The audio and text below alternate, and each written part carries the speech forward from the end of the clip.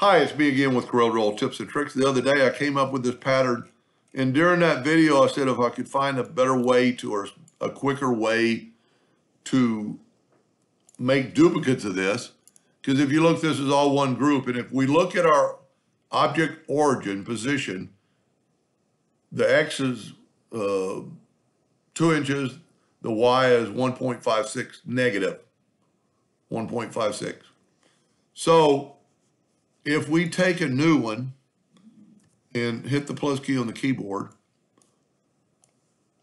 and move it to where it needs to go, pretty close, and then zoom in, and then minutely, minute, move it just a little bit minutely, move it to there, and it's right on the line, and that's what we wanted.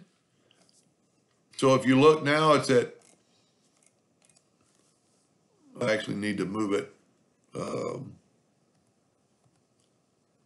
there we go. Okay, it was two. Now the new one is at 5.422.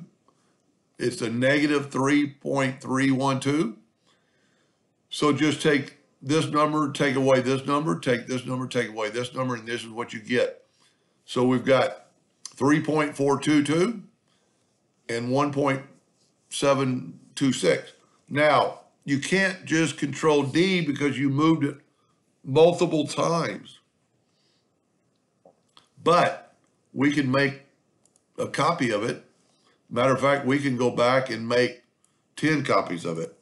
And in one push of a button, they're all perfectly in line. Now you would have to, if you look, they're right on the lines. You would have to figure out another equation now to move them the other direction, but it would be the same process. Because all you'd have to do is, and I'm not going to do it, uh, group this together and then just, you know, take this number and do what I did there. I just move it over there till it's close. You know what? That's not going to fit. There it is. Anyway, that's the step and repeat pretty much to the max. Hope that helped. Thank you for watching.